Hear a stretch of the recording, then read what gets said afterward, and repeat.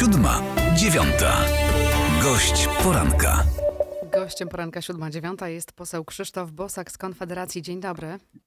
Dzień dobry pani, dzień dobry państwu. W Szwajcarii odbyła się konferencja dotycząca odbudowy Ukrainy ze zniszczeń wojennych. Przedstawiono taką mapę z podziałem na regiony i kraje, które mają odbudowywać. Polska i Włochy mają się zająć regionem donieckim, który jest teraz pod kontrolą Rosjan. Co pan o tym sądzi, o tej konferencji, o tym podziale? Myślę, że to jest e, wydarzenie dla Polski bez istotnego znaczenia, raczej wpisujące się w strategię działań marketingowych rządu ukraińskiego, mających na celu przykuwać uwagę międzynarodowych mediów i dyplomatów i społeczeństw państw europejskich do tego, co się dzieje na Ukrainie. Podobnie jak Polska, kiedy była pod zaborami, stosowała bardzo różne sposoby, żeby próbować zainteresować nasi artyści, nasi pisarze, stosowali różne sposoby, żeby zainteresować inne państwa losem Polaków, tak w tej chwili robią Ukraińcy. Stąd na przykład wystawa e, uzbrojenia e, straconego przez Rosjan, e, która krąży po Europie i w różnych stolicach jest pokazywana. Stąd różne ostre, niestandardowe wystąpienia dyplomatów ukraińskich i stąd między innymi ta zapowiedź, która z tego co słyszałem w żaden sposób z polskim rządem nie była uzgodniona. Trzeba też sobie zdawać sprawę, że to co w Polsce jest przedstawiane jako jakiś rodzaj dobrodziejstwa dla państwa polskiego, czyli udział w odbudowie Ukrainy, wcale takim dobrodziejstwem być nie musi, dlatego że nie ma w tej chwili mowy, kto ma za to płacić. I przypomnijmy, że e, również podobne rzeczy mówiono o odbudowie Iraku, w którego podbiciu Polska brała udział wraz z Amerykanami, e, a Polska w żaden sposób nie zarobiła na odbudowie Iraku, pomimo że jeden z byłych polskich premierów pełnił rolę takiego quasi gubernatora, przedstawiciela tego państwa po tym, jak ono zostało zdobyte i podbite przez koalicję państw zachodnich. Także, także proszę być bardzo ostrożnym wobec tych zapowiedzi. Moim zdaniem nawet są takie one naprawdę nic nie znaczą, a ostatecznie to, kto będzie realizował inwestycje na Ukrainie, będzie zależało od siły politycznej i od pieniędzy, które dane państwo i dane firmy wyłożą na stół. Premier też mówi o tej odbudowie Ukrainy, o tym, że polskie firmy będą uczestniczyły. Chciałby pan, żebyśmy uczestniczyli e, w tym projekcie, czy nie? A na jakiej podstawie premier to mówi? Przecież premier nic na ten temat nie wie. Mówi, że jest w stałym kontakcie z rządem ukraińskim. No i cóż ten rząd mu zadeklarował? moim zdaniem nic na chwilę obecną, więc opowiadanie takich rzeczy, no wiadomo, że jeżeli będą zrealizowania zamówienia i, i, polskie firmy dadzą lepszą cenę niż e, firmy z innych państw e, i nie będzie tam jakichś e, politycznych układów, które spowodują, że ktoś to dostanie, tylko będzie jakaś procedura przetargowa, no to, to, to będzie można wykonać jakąś pracę, ale to się nie różni od sytuacji wykonywania różnego rodzaju inwestycji poza granicami kraju, także w tej chwili. Natomiast przypomnę, że my problem w Polsce mamy mm, taki, że to nie jest tak, że firmy na przykład budowlane w Polsce mają w tej chwili jakieś ponadprzeciętne moce przerobowe czy inżynieryjne, pozwalające realizować zamówienia na całym świecie i tylko czekają, a tu może mm, w, prawda, mm, w sierpniu pojedziemy realizować kontrakt do Afryki, a może w, na jesieni zbudujemy drogi w Uzbekistanie. No tak niestety nie jest. W Polsce też brakuje e, różnych zasobów e, i kapitału i niekiedy e, odpowiedniego parku maszynowego, czy pracowników, czy odpowiedniej możliwości przerzucenia swoich sił na inną część świata. To jest wszystko bardzo skomplikowane. Polskie firmy z reguły przy dużych kontraktach infrastrukturalnych występują jako podwykonawcy, nawet w naszym państwie. I to nie jest przypadek. To wynika z tego, że po prostu największe firmy budowlane w Polsce nie są polskie, tylko są to firmy międzynarodowe z kapitałem zagranicznym. Państwo polskie przez ostatnie 30 lat nie promowało polskich firm przy wykonaniu dużych kontraktów tworzyło tak reguły, które promowały firmy duże, międzynarodowe, zagraniczne, więc polskie firmy wyspecjalizowały się w podwykonawstwie i w byciu po prostu częścią różnych dużych konsorcjów, mniejszą częścią lub tym ostatnim ogniwem, e, czyli kimś, kto wykonuje konkretne zadania w ramach inwestycji. I teraz pytanie, które firmy e, my chcielibyśmy im proponować e, ten wyjazd i które firmy w ogóle to rozważają. Ja takich szczegółowych analiz w Polsce nie widziałem, także ja uważam, że jakby to jest pewna szansa, nie mówię, że nie, natomiast podchodziłbym do tego jeszcze raz, powiem bardzo ostrożnie, dlatego że w tej chwili oczywiście z powodu kryzysu, w który wchodzimy, czy już weszliśmy, e, branża budowlana w Polsce zwolniła, ale wcześniej przecież było tak, że e, brakowało wykonawców dla wszystkich e, projektów inwestycyjnych, które były realizowane w Polsce. Jeżeli mm, na przykład rząd chciał wprowadzić, szybko zbudować płot na granicy, to musiał przebijać swoją ofertą w firmach budowlanych oferty już zakontraktowanych mm, inwestycji budowlanych po to, żeby jakieś konkretne ekipy z jednych placów budowy zeszły i weszły budować płot. I tak samo byłoby z Ukrainą. Gdybyśmy byli w szczycie koniunktury, tak jak byliśmy wcześniej, żeby odbudowywać coś w Doniecku, trzeba by zejść z jakichś konkretnych placów budowlanych w Polsce. No w tej chwili, kiedy wchodzimy, jak mówię, w ten kryzys, to to może być jakaś szansa. Natomiast jeżeli jest mowa o Doniecku, przecież to jest czysta fantastyka, dlatego że w tej chwili ten teren pod okupacją ukraińską Rosyjską. Nic nie mhm. wskazuje, e, e, rosyjską, przepraszam bardzo oczywiście, nic nie wskazuje na to, żeby ta okupacja się miała jakoś szybko skończyć. Nic też nie wskazuje na to, żeby wojna miała się szybko skończyć. Więc w ogóle, jak mówię, no po prostu moim zdaniem to jest jakiś zastępczy temat, rozbudzanie w społeczeństwie jakiejś nadziei. Nawet jeżeli to wszystko się stanie, to myślę, że skala udziału polskiego w tym nie będzie na tyle duża, e, żebyśmy my w Polsce jakoś wyraźnie to odczuli. Także przestrzegam, przestrzegam przed robieniem sobie takich nadziei. Napisał pan o zakończonym niedawno szczycie NATO, że umowa NATO-Rosja wciąż jest przestrzegana. Tak, niestety tak jest. I Chodzi o ten, o ten brak stałych baz chociażby, tak? Na wschodniej flance NATO. Dokładnie. W 1997 roku, jak państwa NATO było rozszerzane, nasze państwa, które wcześniej były pod władzą Rosji, wstępowały do NATO. Została zawarta taka umowa, która miała na celu uspokoić Rosję i prawda, pokazać jej, że nie ma się czego bać, która e, ta umowa stwierdzała, że w państwach nowych NATO nie będą rozmieszczone stałe bazy wojskowe e, zachodnie no i do dziś nie są. Warto zwrócić uwagę, że y, szczyt w Madrycie, który jest reklamowany w Polsce przez media jako sukces, nie postanowił o przesunięciu jakichkolwiek istotnych, ciężkich wojsk y, na wschodnią flankę NATO. Jedynie Amerykanie zdecydowali się y, rozmieścić nieduże ilości wojska w państwach bałtyckich i w Rumunii, decydując, że będzie to obecność rotacyjna. I za każdym razem jest to podkreślane, że to będzie obecność rotacyjna, a nie e, stała. Te wojsko, które jest mówione, że e, w Polsce będzie, e, to nie jest wojsko, to są urzędnicy wojskowi, to jest, to jest tak zwane dowództwo piątego korpusu. Rzadko kto dodaje w mediach, że stwierdzenie, że będzie w Poznaniu, to też ciekawe, że nie przy wschodniej granicy, znaczy ze względu strategicznego to zrozumiałe, bo jeszcze raz podkreślam, dowództwo to są urzędnicy, sztabowcy, to nie jest wojsko które ma walczyć. To jest e, wojsko, które ma siedzieć daleko od pola walki, analizować sytuację, dowodzić albo ewentualnie, jeżeli sytuacja by się zaogniła, to tak jak z Kijowa Amerykanie wylecieli, tak samo będą mogli wylecieć z Poznania w każdej chwili.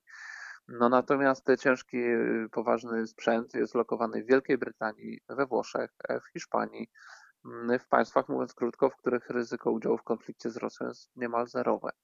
E, te 300 tysięcy sił szybkiego reagowania, o których się mówi, że szczyt postanowił, że one powstaną, to po pierwsze ich w ogóle nie ma, po drugie one w ogóle nie ma decyzji, żeby były rozmieszczane na wschodzie. Także znów e, proszę być bardzo ostrożnym wobec doniesień medialnych. Mm, e, media często niestety nie tłumaczą tego w taki sposób, jak to rzeczywiście wygląda. Dodam jeszcze, że przejrzałem sobie po szczycie na to informacje w jakiej skali były prowadzone dotychczasowe manewry natowskie. Manewry, które się odbywały w tym roku, angażowały od kilku e, do kilkunastu tysięcy żołnierzy i we wcześniejszych latach podobnie.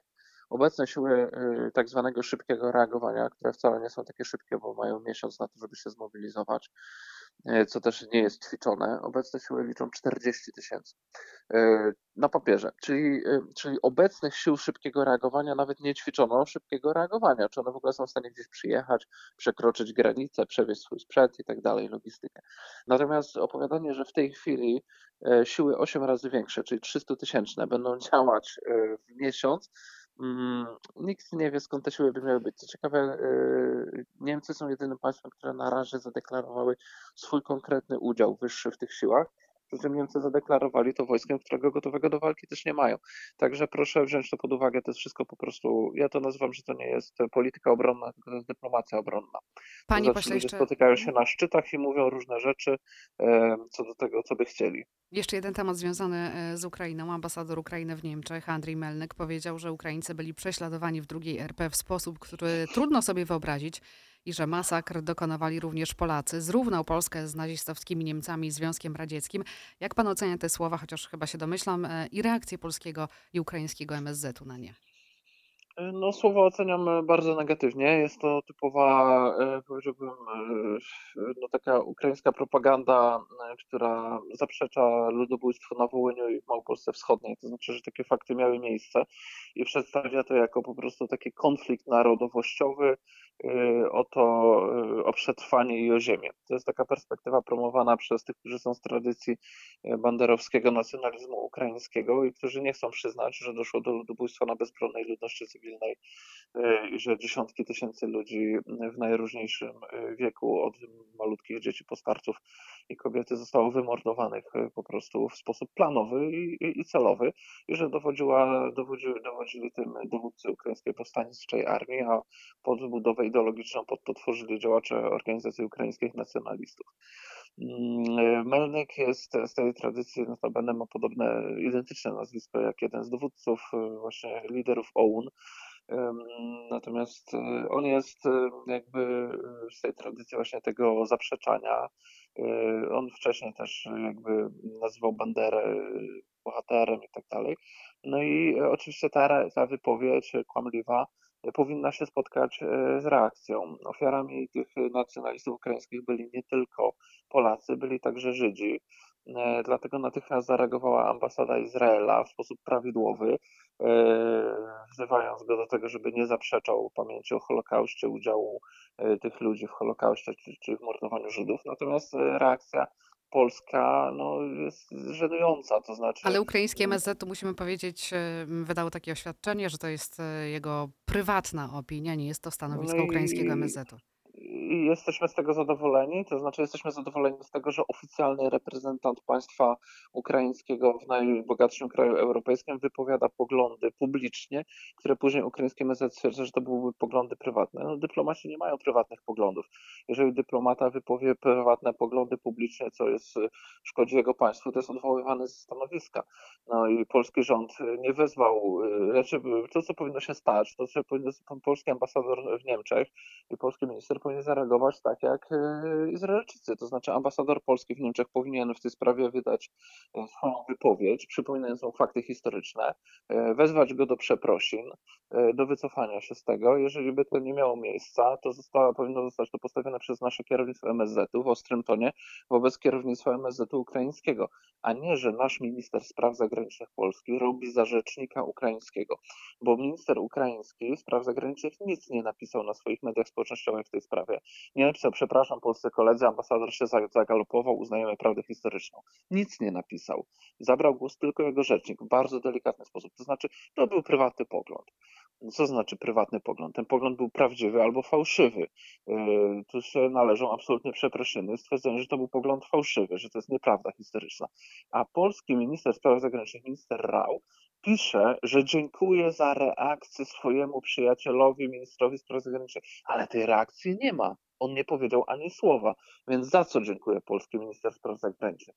No trzeba się szanować jednak. Ja nie mówię, żeby przez jedną wypowiedź ambasadora psuć stosunki e, swoje e, z Ukrainą, ale jeżeli my nie będziemy Ukrainie sygnalizować, czego oczekujemy, na przykład, że oczekujemy w takiej sprawie przeprosin, albo w sprawie ekshumacji ofiar rzezi odblokowania ekshumacji, albo w przypadku nazwania w Tarnopolu E, stadionu sportowego imieniem Szuchewycza, czyli dowódcy odpowiedzialnego za wymordowanie Polaków. Oczekujemy zmiany nazwy tego stadionu, albo że jak są organizowane spotkania dyplomatyczne, to że nie będą pod czarną-czerwoną banderowską flagą, jak było i minister Rau nie zareagował i odbył spotkanie. Jeszcze zdjęcie wrzucał na media społecznościowe jego rzecznik, nieświadomy chyba mm, co wrzuca, albo może świadomy jeszcze gorzej to o nim świadczy, no to wtedy jakie sygnały dostaje polska e, strona ukraińska? Dostaje takie, że Polakom po prostu zwyczajnie nie zależy, że to jest temat nieistotny. W poniedziałek, w poniedziałek będziemy obchodzili Narodowy Dzień Pamięci Ofiar Ludobójstwa dokonanego przez ukraińskich nacjonalistów e, na Polakach na Wołyniu. Spodziewa się pan tutaj jakiegoś znaczącego gestu ze strony ukraińskiej, może to odblokowanie ekshumacji?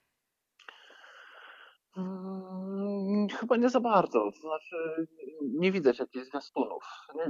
Byłbym pozytywnie zaskoczony i chciałbym, żeby coś dobrego stało się w tej sprawie. Natomiast Natomiast w tej chwili tych jakichś zwiastunów, jakiegoś takiego gestu za bardzo nie widzę.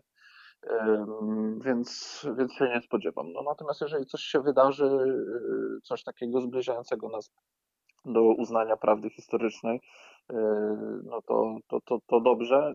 Natomiast nie wiem, czy ktoś za kulisami polskiej dyplomacji nad tym pracuje i te ostatnie wydarzenia niespecjalnie to wróżą. Dodajmy, że e, właśnie odpowiedzialni za mordowanie Polaków zostali w ostatnich dniach na Ukrainie szczególnie też upamiętnieni. E, ksiądz Isakowicz-Zalewski między innymi informował o tym, że na Ukrainie pojawiły się kartki okolicznościowe upamiętniające Romana Szuchewicza, no, są to rzeczy bardzo smutne. Ja bym chciał, żebyśmy już tą historię mieli za sobą, tak jak na przykład mm, rozliczenia z Holokaustem Niemcy i Żydzi mają za sobą, ale niestety tutaj widać, że po stronie ukraińskiej nie ma gotowości do uznania faktów historycznych. Jest to dziwne wobec faktu, że Polska świadczy tak wielką pomoc. Wydaje mi się, że polski rząd po prostu nie potrafi tutaj, jak obiecał wyborcom, wstawać z kolan i negocjować po prostu i jakby skutecznie e, tego, co Polska potrzebuje. Wydaje się trochę jakbyśmy mm, dawali wszystko za darmo i nie oczekując niczego w zamian. I w polityce międzynarodowej to jest po prostu błąd, bo jest to szczególnie w polityce na wschodzie, jest to utożsamiane ze słabością. Jeżeli ktoś nadskakuje jeżeli ktoś dużo daje za darmo, nic nie chce w zamian, jest to utożsamiane ze słabością. I na, mamy ostatnie trzy minuty, więc zmieńmy jeszcze temat. Co trzeci Polak uważa, że nie ma partii politycznej, która poradzi sobie z inflacją. Niecałe 6% uważa, że udałoby się to Konfederacji, czyli tylko wasi wyborcy wskazują was. No to naturalne. Gdyby więcej osób uważało, że jesteśmy w stanie rozwiązać najtrudniejsze problemy, to pewnie byłoby naszymi wyborcami. Natomiast e, ja nawet bym nie krytykował tego sondażu. To znaczy, ja uważam, że Mm, poradzenie sobie z inflacją, która się raz rozkręciła, po prostu nie jest proste i nie jest też w jakiś prosty sposób zależne od polityków. Politycy są w stanie wywołać inflację. Uważam, że PiS częściowo za to odpowiada. Yy, I myśmy jako chyba jedyni ostrzegali przed tym od samego początku, jak PiS przejął władzę i zaczął wdrażać swoje polityki yy, podnoszenia podatków, nieustannego zmieniania różnego rodzaju reguł. Panie pośle, czyli wydatków. politycy mogą wywołać inflację, a już wpłynąć na jej spadek, nie? E, mogą po prostu, te, te, te, w pewnym stopniu tak, w pewnym stopniu tak myślę. To znaczy po prostu inflacja musi wygasnąć niejako naturalnie poprzez ustabilizowanie się poziomu cen w gospodarce na nowym poziomie. No to z reguły zajmuje przy dobrej polityce gospodarczej i braku nowych proinflacyjnych impulsów, to, to z reguły zajmuje no, co najmniej kilka miesięcy i stąd jest właśnie ta e, nieustanna polityka Rady Polityki Pieniężnej polegająca na badaniu, czy już się ta inflacja wyhamowuje, czy jeszcze trzeba podnieść stopy, czy, czy reagować tak, czy inaczej. No a politycy, cóż, powinni po prostu tutaj nic więcej nie psuć, więc nie realizować żadnej nowej polityki do druku pieniądza, jak to wcześniej na wielką skalę, nie spodziewano kiedykolwiek inny, indziej wcześniej e, realizował rząd Mateusza Morawieckiego. Po prostu w tej chwili trzeba przyhamować wydawanie pieniędzy, no bo inaczej ta inflacja będzie się rozwijać. No ale na przykład rosną raty kredytów, więc pomaga się kredytobiorcom. Rosną ceny energii, więc się e, dopłaca. Pan ukróciłby takie tarcze, dopłaty i programy pomocowe? To zależy które, dlatego że y, niektóre z nich są zasadne. Na przykład ja sam wzywałem e, do wprowadzenia rat od kredytów i leasingów, rat e, takich e, kredytowo-leasingowych, ale ja do tego wzywałem w 2020 roku, zanim rząd zrealizował tarcze finansowe. Jeżeli by te wakacje kredytowo-leasingowe umożliwić nie tylko dla prywatnych osób, ale i dla przedsiębiorców i skroić je w mądry sposób, tak żeby to było odsunięcie w czasie spłaty, a nie zwolnienie ludzi, to ani by to nie wpłynęło negatywnie mocno na sytuację banków, a mogłoby to być może nawet częściowo zastąpić te tarcze. Natomiast jak już zostały zrobione tarcze, które trafiły do mnóstwa firm, które w ogóle nie poniosły strat z powodu pandemii, ale miały prawo brać tą pomoc, czyli rozdano y, y, często bogatym ludziom mnóstwo dodatkowych pieniędzy, miliony po prostu z do druku, które wcześniej nie istniały no to już w tej chwili jakby jest inny kontekst, tak? Więc nie da się w gospodarce nigdy pomóc wszystkim. Jeżeli na przykład gwałtownie rosną ceny ciepła i energii i my ostrzegamy od tym od 10 lat. Pierwszy raz robiliśmy konferencję w tej sprawie 13 lat temu z Solidarnością Regionu Śląsko-Dąbrowskiego, że polityka Unii Europejskiej wykończy naszą elektroenergetykę węglową i będą wysokie ceny prądu. To wszystko się stało. Rząd PiSu, rząd Platformy, wszystko to popychał do przodu. I w tej chwili nie da się tego zamaskować dopłatami. Rząd może zrobić jakąś ustawę, która będzie mydlić ludziom oczy, natomiast nie da się pomóc wszystkim, no bo po prostu budżet nie jest z gumy. Jeżeli się dodrukuje pieniądze, to będzie inflacja, jak się chce pomóc budżetu, a nie z dodruku, to trzeba to zabrać w podatkach. Więc w ślad za tą pomocą idzie podnoszenie podatków. I to jest to, co rząd PiSu realizował, tak? Zbierał coraz więcej pieniędzy z podatków, po to, żeby coraz więcej ludziom rozdawać. Natomiast jeszcze raz to podkreślam, nie da się pomóc wszystkim za publiczne pieniądze. Da się tylko pomóc pewnej wybranej grupie. I za pomocą tym, którzy są w najtrudniejszej sytuacji, jestem, natomiast trzeba to mówić uczciwie. No, jeżeli w tej chwili mamy na jesieni mieć kilkuset procentowe wzrosty cen ciepła, dlatego że rząd wprowadził sankcje, które powodują, że węgiel poszybował w górę, i e, jednocześnie Unia Europejska nakłada obowiązek na ciepłownię, żeby wykupywać zupełnie do niczego niepotrzebne, horrendalnie drogie certyfikaty, no to, to będziemy za to płacić w rachunkach I, i rząd nie zamaskuje tego, no bo co zrobi? Ukryje to i wtedy przerzuci gdzie indziej. Jeżeli na przykład w energetyce rząd stosuje strategię ukrywania wzrostu cen prądu poprzez różnicowanie taryf dla odbiorców indywidualnych i dla biznesu, to za te wyższe ceny prądu dla biznesu my zapłacimy w produktach y, i usługach, które przedsiębiorcy dla nas produkują i tak dalej, i tak dalej. I na tym musimy naszą rozmowę zakończyć. Poseł Krzysztof Bosak z Konfederacji był gościem poranka 7-9. Dziękuję. Dziękuję bardzo, pozdrawiam serdecznie, dobrego dnia. Siódma, dziewiąta. Gość poranka.